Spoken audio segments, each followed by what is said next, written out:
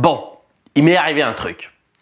T'es pas sans savoir que j'étais à Bali il y a 2-3 mois et que j'y étais aussi il y a presque 10 mois maintenant. Et là, lundi, je reçois un coup de fil de ma banquière. Et toi comme moi, tu sais très bien que quand tu reçois un coup de fil de ta banquière, ce n'est jamais pour te souhaiter la bonne année, ni ton anniversaire, et encore moins ta fête. Donc je décroche le répondeur. Bon, on va prendre le vrai téléphone, ça fera mieux. Message s'adresse à Monsieur Rousseau. Mhm. Merci de bien vouloir Mhm. recontacter dès que possible le service client. Mhm, Direct. mhm. Je me précipite de retaper le numéro. Et là, on peut envoyer le générique. Started from the bottom, now we're here. Alors je retape le numéro, je les appelle. Oui, bonjour monsieur Rousseau. Vous avez été victime d'une fraude à la carte bancaire. Ah C'était la première étape parce qu'après il m'est arrivé encore un autre truc que je vais te raconter après. Mais là je me disais mais je suis foutu quoi. Et donc il me dit oui alors on a bloqué une transaction, on a vu qu'il y avait eu une tentative de retrait d'espèces à Bali, mais on a remarqué que en même temps dans la semaine bah, vous étiez en Europe et pas à Bali. Il fait en effet, tout à fait, mon cher Watson, vous avez bien analysé la situation, nous pouvons procéder à l'extraction du voleur. Bon, bah, c'est pas vraiment ça qu'elle m'a dit.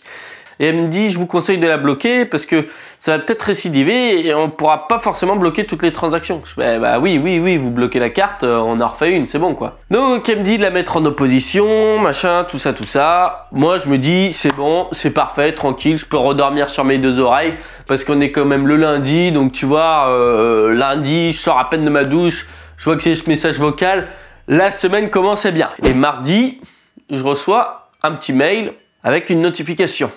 Comme quoi, j'avais atteint le seuil inférieur sur mon compte bancaire.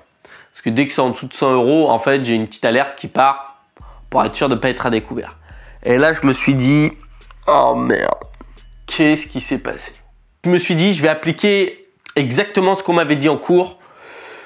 Je me suis mis en position latérale de sécurité. Sous-entendu PLS. Temporisé, 5 bonnes minutes, ça fait du bien. Et après ça, je me suis dit, bon bah c'est parti, j'appelle le service client ING. Bon, ça va y répondre assez vite. Ok, la carte est bien dans nos positions, monsieur, oui, vois, oui, bah oui, vous m'avez dit vous avez bloqué, puis il y a quand même deux transactions qui sont passées.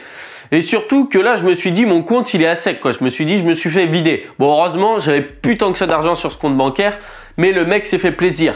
Il a retiré 350 euros.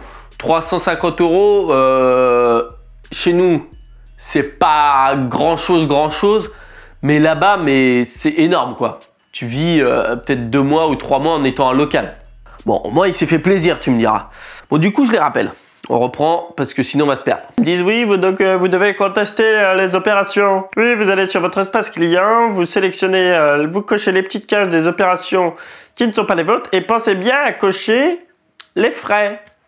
Je fais bon, bah je vais cocher tout ça, hop, j'envoie. Faut imprimer ce papier, tu le mets dans ton enveloppe, répertoriant toutes les transactions, puis tu l'envoies. Mais sinon, revenons à ce qui nous intéresse. Comment j'ai pu me faire pirater? Soit c'est un distributeur qui était camouflé et qui récupérait directement toutes les informations de carte bancaire, mais ça, ça m'étonnerait un peu puisque en général, je fais attention à ça. Enfin, en tout cas, de toute façon, en Asie, franchement, c'est pas euh, quelque chose d'extraordinaire, c'est quelque chose qui arrive plutôt assez souvent. Je connais plein de monde qui se sont fait arnaquer leur carte bancaire. Mais justement, ça vient à une autre chose que je dis, c'est toujours de partir en voyage avec d'autres cartes bancaires. Et c'est là où le mec est malin qui fait la vidéo, qui a écrit le script, c'est que du coup je te propose de regarder mes autres tests de banque. Mais ne pars pas qu'avec une seule carte bancaire quand tu pars en voyage. Parce que s'il m'avait fait ça quand j'étais à Bali, j'avais plus de carte bancaire. Alors ok, j'ai une carte Gold, du coup je peux demander des espèces dans une autre banque ou par un autre service. Ils vont se débrouiller pour m'envoyer des espèces. Mais sinon, nada. D'ailleurs, tiens, je vais te ramener la relique. La voilà ma belle petite carte. Là, tu peux te servir hein, sur les numéros. hein. Maintenant, elle fonctionne plus. Je vais pouvoir la découper. En tout cas, si tu veux prendre soin de ton argent, je t'invite à t'abonner.